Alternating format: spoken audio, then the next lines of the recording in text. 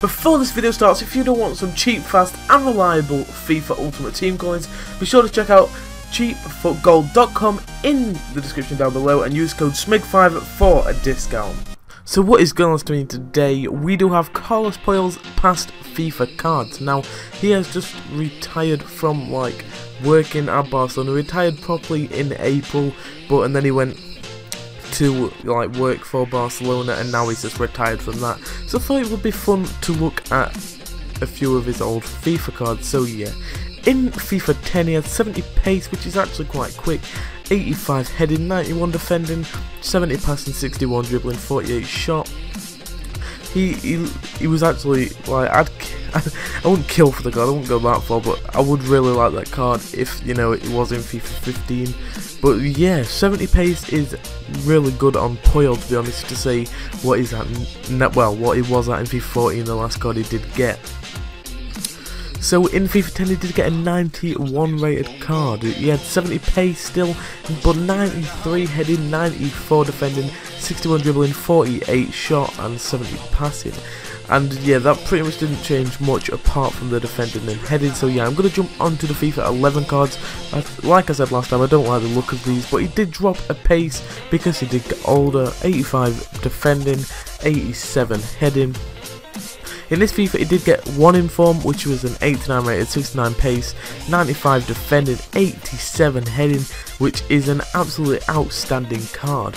And then he did get another, which was a 90 rated inform. His pace still didn't go up, but he did have 97 defending and 90 heading. Now, that is absolutely outstanding on a centre back.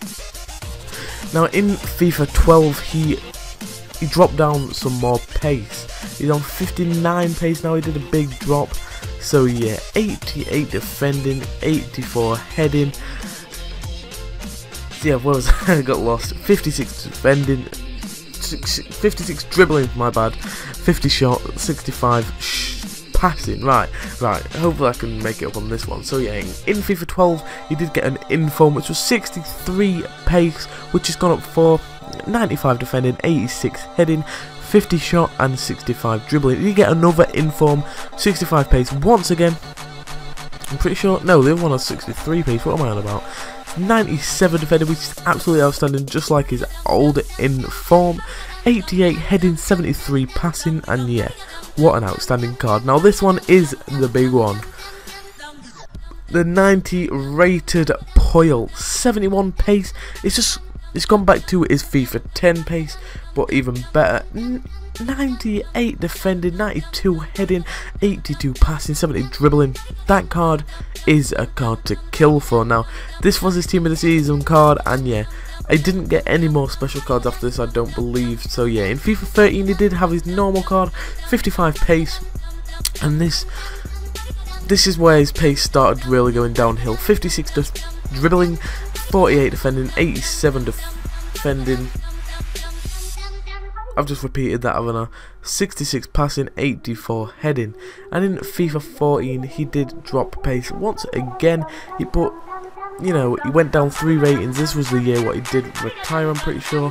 48 shot, 85 defending, 80 heading, and 64. I mean, passing the stats are playing in my head, I really don't know why, so yeah. If you did enjoy this video, can we smash 40 likes? Also, subscribe if you haven't already to be entered into a giveaway, which I will make um, a, a separate video on. Yeah, finally spit my words out, so yeah. Subscribe if you haven't already, and yeah, peace out.